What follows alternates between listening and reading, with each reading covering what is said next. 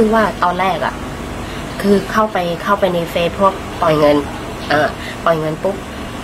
ตอนแรกอะพี่คุยกับเขาไปแล้วพักหนึ่งแล้วนี้แต่ว่าเหมือนแบบว่าเราก็ยังช่างใจ เพราะว่าเราเราก็คือว่าพูดง่ายๆคือเราต้องการที่จะไปต้องงัดเงินตัวเนี้ยไปทำธุระของเรา เออ แล้วพี่ก็ถามคนนู้นคนนี้ว่าเออมันเป็นยังไงอะไรเงี้ยเผอิญมีมีเฟซเฟซหนึ่งที่ขึ้นว่าให้ปล่อยเงินกู้ใช่ป่ะแล้ว คือพี่ก็เข้าไปคุยพอเข้าไปคุยปุ๊บเขาก็บอกว่าต้องมาจำเงินคนนั้นอะ คือคนนั้นอะ มาจำเงินพันห้าพี่ก็เลย เออ พี่ก็เลยอึกอัก พี่ก็เลยโทรไปถามคนเนี้ยเพราะพี่เคยคุยกับคนนี้ไปพักหนึ่งใช่ปะล่ะเขาก็บอกว่า พี่ถามว่า เออเนี่ย น้องคนเนี้ย พี่เข้าไปคุยอะไรเงี้ย คือว่าเขามีปัญหาอะไรไหมเผื่อพี่จะพี่จะแบบอะไรกู้เงินกับเขาแต่เขาเรียกเงินมาจำพันห้าน้องคนนี้เขาก็เลยพูดประมาณว่า ไม่แนะนำให้กู้กับเขาแนะนำให้กู้กับหนู หนูอะพี่จะเอาเงินเท่าไหร่ ก็เลยบอกหมื่นห้าเขาก็เลยว่าว่าเออมาจำแค่พันหนึ่งแล้วก็ส่งอะขั้นต่ำสามร้อยห้าสิบระยะเวลาการผ่อนชำระก็คือปีหนึ่งหมื่นห้าเนี่ยพี่ต้องชำระให้เสร็จอะไรเงี้ยพี่ไหวไหมก็เลยบอกเออโอเคโอเค ตอนนี้พี่กำลังเดือดร้อนอะไรเงี้ย แล้วมันจะมีปัญหาอะไรไหมน้องจะประมาณว่าเหมือนคือเราเราก็กลัวไง แล้วก็บอกว่าไม่มีปัญหาหรอกพี่ ถ้าพี่ถ้าพี่ตกลงคือ พี่โอนเงินมาให้หนู เลยพันห้าพันหนึ่งคือค่ามาจำแล้วก็ยื่นเอกสารให้หนูคือว่าทะเบียนบ้าน เอ้ยอะไรบัตรประชาชน แล้วก็เลขบัญชีก็เลยถามว่าเอาแล้ว จะให้พี่โอนไปบัญชีไหน ก็เลยบอกว่าเออเนี่ย เขาก็ส่งลงส่งเลขที่บัญชีมาพร้อมชื่อ เออ พี่ตอนแรกพี่ก็ยังยังยังไม่เบรกอะนะพี่ก็เลยบอกว่ายังไม่ว่างเดี๋ยวกินเดี๋ยวกินข้าวก่อนละกันพี่จะจัดการให้ ก็เลยเขาก็โทรมาถามว่าเออเนี่ย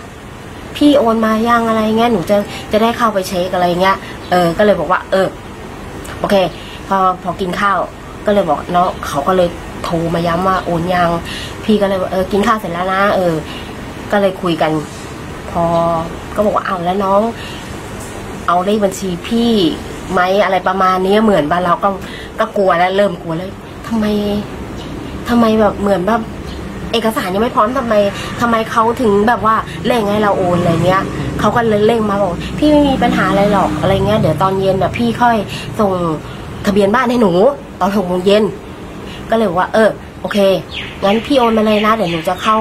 พอพี่ พอพี่โอนแล้วอะหนูจะโอนเงินคืนพี่อะหมื่นห้าประมาณสักพักหนึ่งสักคู่หนึ่ง พี่ก็พี่ก็เลยบอกโอเคงั้นแค่นี้เออเดี๋ยวพี่โอนไป พอพี่โอนไปปุ๊บ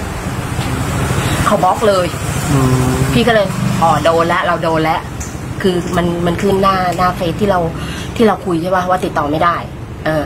พี่ก็เลยโทรไปที่ธนาคารเลยตอนนั้นเลย คือเรารู้แล้วว่าเราโดนแน่ เออ ธนาคารก็เลยบอกว่าให้ไปแจ้งความ และเอาเอกสารตาคุดน่ะมาอายัดบัญชี แต่ว่าพอตอนแรกอะไปที่ อะไรสพออีกที่หนึ่งเขาบอกว่าอยู่นอกเขต ก็เลยพอวันรุ่งขึ้น พี่ก็เลยมาสพออุทัยคือมันอยู่ในเขตที่เรามีสัญญาณโทรศัพท์อะพูดง่ายๆเออ ก็เลยมาปุ๊บตำรวจก็รับแจ้งความอะไรเงี้ย คือลงบันทึกประจำวันไว้ แต่ว่าเราไม่ได้เอกสารอะไรไป ก็ยังตกใจว่า เอ้ยทำไมไม่ได้เอกสารอะไรไป คือ จริง ๆ แล้วแจ้งความอะ มันต้องมีเอกสารใช่ไหม เออ แล้วนี้เขาบอกว่า เอาแล้วถ่ายเอกสารหลักฐานอะไรมาไหม ก็เลยบอกว่า ยังเลยตำรวจก็เลยบอกว่า เดี๋ยว ถ้าพี่ว่างพี่ค่อยเอาเอกสารที่พี่แคปข้อความมามายื่นเป็นหลักฐานให้อะไรเงี้ย ก็เลยบอกโอเคงั้น เดี๋ยววันอาทิตย์ก็เลย คือวันอาทิตย์อะก็เลยถ่ายเอกสารแคปทุกอย่างมาให้ตำรวจ แต่วันที่มาแคปอะไม่เจอร้อยเวรก็เลยเขาก็เลยรับรับเอกสารไป แต่พี่ก็ยังไม่ได้เอกสารมา พี่ก็เลยโทรไปที่ธนาคารอีกรอบหนึ่งธนาคารก็บอกว่า ไม่ได้ต้องมีเอกสารมา ธนาคารถึงจะจัดการให้อืม เนี่ยวันนี้พี่ก็เลยเดินทางมาเอาเอกสาร พี่ก็เลยเดินทางมาเอาเอกสารอ๋อเออพอดีแบบเพื่อนก็เลยแคปข้อความที่ว่ามีเรื่องมีเรื่องเนี่ยที่ว่ากับบินด้วยอะไรด้วย แล้วบังเอิญมันเป็นเลขบัญชีเดียวกันเออเออก็มีแบบเหมือนนักข่าวอะช่องอะไรสักอย่างเนี่ยโทรมาคุยอะไรเงี้ย ก็มาเล่าให้พี่ฟังว่าน้องคนนี้โดนจับแล้วนะเขาอยู่ลบบุรีอะไรประมาณเนี้ย อ๋อเออพี่ก็เลยรู้ว่าเป็นวิชาชีพแน่นอน ใช่ค่ะอืมก็เลยก็เลยวันนี้ก็เลยมาพอดีแบบว่านักข่าวคนเนี้ยคือก็มาคุยกับเขาอีกทีคือ คือเหมือนแบบว่า ถ้าเรามาคนเดียวความที่เราเป็นผู้หญิงอะก็เลยไม่กล้าใช่ป่ะถ้ามีนักข่าวมาด้วยเออเขาอาจจะชี้แจงอะไรให้เราแบบเออเข้าใจเลยกระจ่างขึ้นอะไรประมาณเนี้ยแหละค่ะแล้วหลังเนี่ยพอพี่รู้ว่าเขาเป็นมิจฉาชีพความรู้สึกพี่เป็นยังไงบ้างตอนนั้นคือเสียความรู้สึกอะเขาทำเหมือนแบบ คือเราเดือดร้อนอะเงินพันหนึ่งอะฝ่าเราจะยืนทำงานอะกว่าจะได้อะโอ้ก็ไม่มีกว่าจะได้เงินตรงนี้มา คือเสียความรู้สึกมากๆเลยเขาทำเหมือนแบบว่า มันเป็นเรื่องสนุกอะมันไม่ใช่อะความรู้สึกของเราอะเออค่ะอ๋อคือตอนนี้พี่อยากจะทำยังไงกับเขาครับจากหลังจากนี้ไป ก็คือว่าจะ